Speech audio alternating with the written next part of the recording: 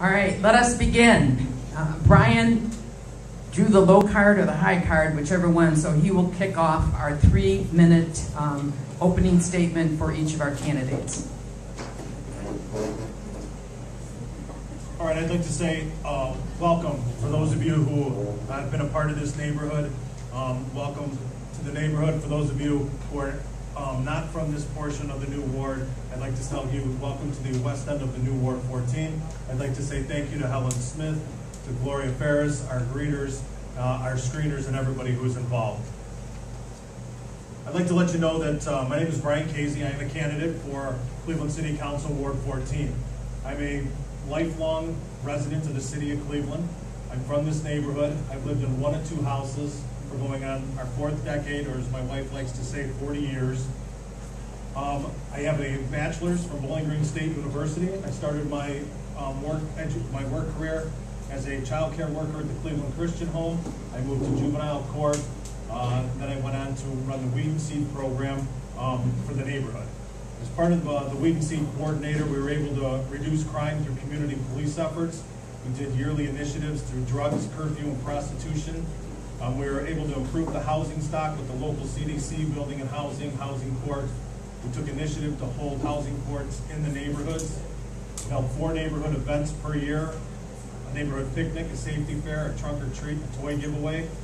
We had every single street within our within our boundaries covered by a block club with at least 45% participation in each block club.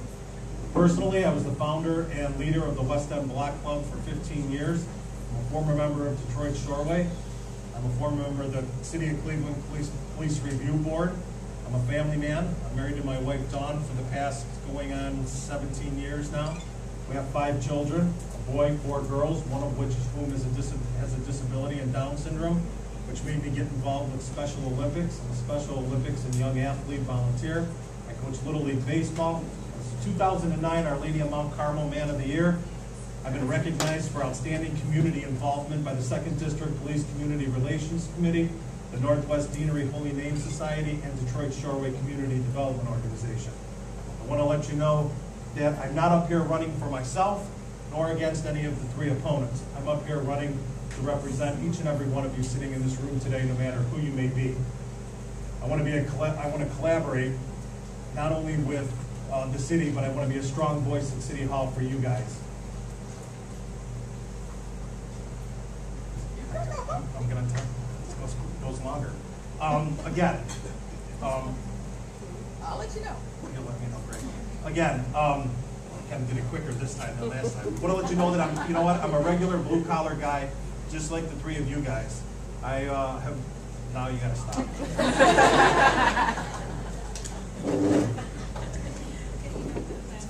Good lesson last week, talk faster. huh? Uh, Brian Cummins. Thank you very much, and I, I do want to thank all the people involved in organizing uh, the last debate as well as this debate. Um, quiero decir también bienvenidos a todos eh, que, que, necesitaba por español um, y gracias para la translación también. Um, I am the current councilman for Ward 14, um, which does not include this current part of this new area that's going to be part of the new Ward 14. I am, though, uh, have been a councilman for the last seven plus uh, years, almost eight years. And really, my background is such that I, first of all, graduated from Cleveland State with a finance degree, business administration, worked at National City Bank for six years, and then my wife and I joined the Peace Corps. Actually picked up my Spanish in our work in the Dominican Republic. I was there for three years. I then served as a business trainer for the Peace Corps, both in the Dominican Republic and then Latvia in Eastern Europe, Central Eastern Europe, and then continued to work with the Peace Corps as an administrative director in Russia and in Moldova. So we spent the better part of the 90s um, overseas in the Peace Corps. That's really important in my background in the sense that when I returned, I took over the Old Brooklyn Development Corporation, uh, served as a director of that organization for four years, really dealing with very similar grassroots issues that a council member attends to as well. Um, of course, those issues were and still are fairly the same, which is primarily safety, of course, uh, and the safety within our neighborhoods, uh, the response that we have from the police, uh, also the housing issues, which have been very difficult over the last five to seven years with the housing crisis and the foreclosure crisis. We also have a very big interest that we hear from people about jobs and economic development in assisting particularly our small businesses, which are really the lifeblood of, a, of any economy.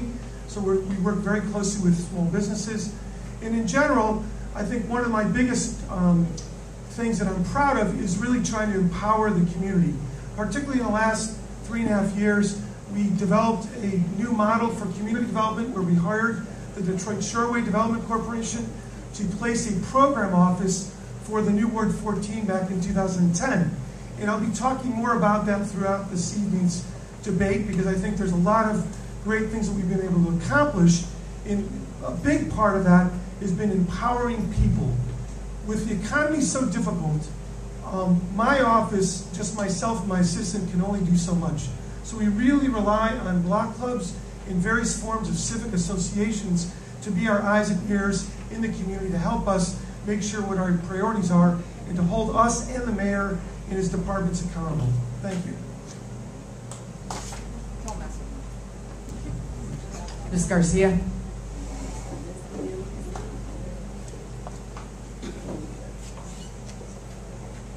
Good evening. It is an honor and a pleasure to be here today. I want to thank everyone that took time to put this forum together. I want to first and foremost apologize for not attending the last forum. I had a previous engagement, but I am very honored and happy to be here today. Thank you once again for this opportunity. I am the endorsed candidate. I have been endorsed by the Democratic Party. I have also been endorsed by our Honorable Mayor Frank Jackson. I am strongly involved with many of the faith-based organizations here in Cleveland. For the past 18 years, I have worked and I have also volunteered my services on many Hispanic social service agencies. I am a mother of four, and I would like to say that I am proudly a single mother of four children, raised all four kids as I opened and started two businesses from scratch in the social, I mean, in the insurance industry. I am currently attending courses and I am six credits away from a business management degree. Many of you may say, well, why is she attending school at this time in her career? I've been a business owner for nine years. I just like to finish what I start. I am a very proud mother of four kids, as I stated. I have a son who just arrived safely from Afghanistan who serves in the United States Marine. And as my son serves our country, I would like to serve our award. I want to state that as a business owner, I have committed to volunteering my services. I have committed to providing as much service as I can to this ward. Although I may not live in this ward, I'd like to address that issue right now because my mother lives in the ward, my children live in the ward, and my grandson lives in the ward. So my pride and joy is in Ward 14. Thank you for your time, and I appreciate the invite. Thank you for not applauding. Mr. Cintron?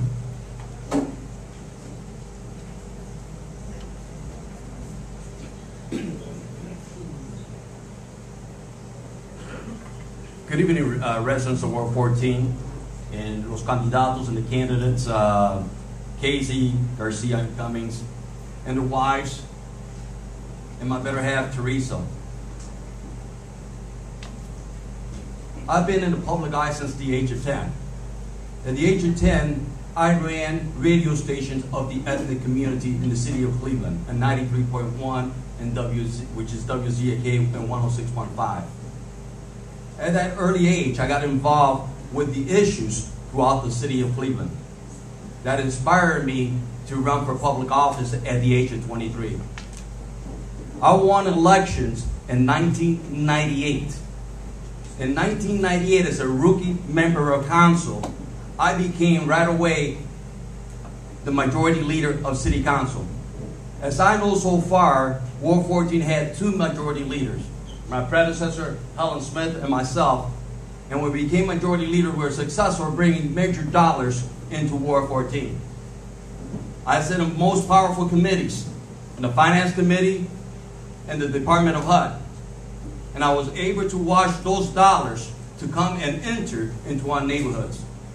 I was able to continue the development that my predecessor started with Mayor Rose Hogarth in Ohio City but also took care of the Clark Fulton area where the Latinos and different ethnic group people live in the Stockyards areas. We build houses, we rebuild houses, We're able to give grants to homeowners, and we continue on for eight solid, strong years. Eight solid, strong years, I made sure that people of different races got represented through my office. When people call my office, you got a call back from my office. You got a call back. I gave the public my cell number. I was on the hour making sure that the issues was taken care of. I was that strong candidate, didn't care if I had to tell the mayor where he needs to stand at, as long as I was able to get the dollars into the neighborhood. And I have a track record. And later on, with your Q&A, you're going to hear what I have projected for this coming next four years when I become your member of council. Thank you.